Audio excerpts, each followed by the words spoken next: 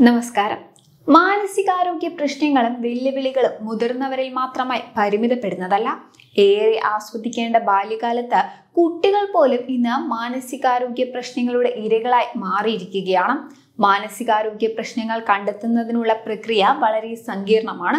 കുട്ടികളുടെ കാര്യത്തിൽ ഇത് കൂടുതൽ കഠിനമാണ്. രാജ്യത്ത് കൗൺസിലിംഗിന് വിധേയരാകുന്ന വിദ്യാർത്ഥികളുടെ എണ്ണത്തിൽ കഴിഞ്ഞ വർഷം അറുപത്തിയഞ്ച് ശതമാനത്തിലധികം വർധനവുണ്ടായതായാണ് റിപ്പോർട്ടുകൾ. രണ്ടായിരത്തി ഇരുപതിലെ നാഷണൽ ക്രൈം റെക്കോർഡ് ബ്യൂറോയുടെ കണക്കുകൾ പ്രകാരം ഓരോ നാൽപ്പത്തിരണ്ട് മിനിറ്റിലും ഒരു കുട്ടി സ്വയം ജീവനൊടുക്കുന്നുണ്ട്. ഒരു ദിവസം ഏകദേശം മുപ്പത്തിനാല് കുട്ടികൾ ജീവനൊടുക്കുന്നു. ലഭ്യമായ കണക്കുകൾ അനുസരിച്ച് രണ്ടായിരത്തി പത്തൊൻപതിനും രണ്ടായിരത്തി ഇരുപത്തി ഒന്നിനും ഇടയിൽ രാജ്യത്ത് മുപ്പത്തി അയ്യായിരത്തി തൊള്ളായിരത്തി അൻപത് കുട്ടികളാണ് ജീവനൊടുക്കിയത്. സ്വയം ജീവനൊടുക്കുന്ന കർഷകരുടെ എണ്ണത്തിലും അധികമാണ് പല കാരണങ്ങൾ കൊണ്ടും ജീവനൊടുക്കുന്ന വിദ്യാർത്ഥികളുടെ എണ്ണം. ഇതിൽ കൂടുതലും പല മത്സര പരീക്ഷകൾക്കായി മറ്റും പങ്കെടുക്കാൻ തയ്യാറെടുക്കുന്ന വിദ്യാർത്ഥികളാണ് എന്നതാണ് വിവരം. പതിനാല് വയസ്സിനും ഇരുപത് വയസ്സിനും ഇടയിലുള്ള വിദ്യാർത്ഥികളാണ് കൂടുതലും കൗൺസിലിങ്ങിന് എത്തുന്നത്. പഠനത്തിൽ ശ്രദ്ധയില്ലായ്മ പരീക്ഷാ പേടി തോൽവിയോടുള്ള ഭയം ആവശ്യത്തിന് പ്രചോദനം ലഭിക്കാത്ത അവസ്ഥ ഉറക്കമില്ലായ്മ അനാവശ്യ ചിന്തകൾ പ്രണയബന്ധങ്ങളിലെ പ്രശ്നങ്ങൾ എന്നിവയാണ് മിക്ക വിദ്യാർത്ഥികളെയും അലട്ടുന്ന കാര്യങ്ങളായി കൗൺസിലിങ്ങിൽ കണ്ടെത്തിയത്.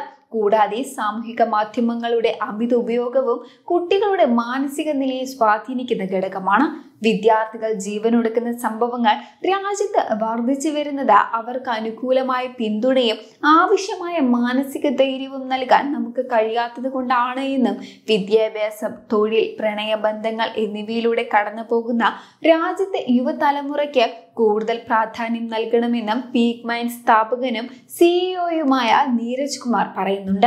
തങ്ങളുടെ പ്രശ്നങ്ങൾക്കായി ഇവർ വിദഗ്ധരുടെ അഭിപ്രായങ്ങൾ സ്വീകരിക്കുന്ന രീതി കണ്ടുവരുന്നതായും ജീവിതത്തിന്റെ ഘട്ടങ്ങളിൽ പ്രയാസങ്ങൾ നേരിടുന്നവരെ കണ്ടെത്തി സഹായങ്ങൾ ലഭ്യമാക്കണമെന്നും അദ്ദേഹം പറയുന്നുണ്ട്. കൂടാതെ ഇതിലൂടെ അവരുടെ മാനസിക നില മെച്ചപ്പെടുക മാത്രമല്ല മറിച്ച് അവരിലെ കഴിവുകൾ കണ്ടെത്തി വികസിപ്പിക്കുവാനും കഴിയുമെന്നും അദ്ദേഹം പറയുന്നു. വിദ്യാർത്ഥികൾ ജീവനൊടുക്കുന്ന സംഭവങ്ങൾ വർദ്ധിച്ചു വരുന്ന സാഹചര്യത്തിൽ എവരി ചൈൽഡ് മാറ്റേഴ്സ് എന്ന ആപ്തവാക്യവുമായി കേന്ദ്ര വിദ്യാഭ്യാസ മന്ത്രാലയം എന്ന പേര് ചില മാർഗനിർദ്ദേശങ്ങൾ പുറത്തിറക്കിയിരുന്നു. സ്കൂളുകളിൽ പ്രവർത്തിക്കുന്ന വെൽനസ് ടീമുകൾ വഴി മാനസിക സമ്മർദ്ദം അനുഭവിക്കുന്ന കുട്ടികളെ കണ്ടെത്തി ആവശ്യമായ സഹായം നൽകുകയാണ് ലക്ഷ്യം. ജീവിതത്തിൽ ഉണ്ടാകുന്ന തോൽവികളെയും പ്രശ്നങ്ങളെയും സ്വയം പരിഹരിച്ച് മുന്നേറാൻ ഓരോ വിദ്യാർത്ഥികളെയും പ്രാപ്തമാക്കുക എന്നതും പദ്ധതിയുടെ ഭാഗമാണ്. ഉന്നത പഠന നിലവാരം പുലർത്തുന്ന വിദ്യാർത്ഥികളോടും പഠനത്തിൽ പിന്നോക്കം നിൽക്കുന്നവരോടും അധ്യാപകർ വിവേചനം കാണിക്കാൻ തുടങ്ങുന്നതോടെ പ്രശ്നങ്ങൾ ആരംഭിക്കാറുണ്ട്. ഇത് പഠനത്തിൽ പിന്നോക്കം നിൽക്കുന്ന വിദ്യാർത്ഥികളുടെ ആത്മവിശ്വാസവും ആത്മാഭിമാനവും ഇല്ലാതാക്കും.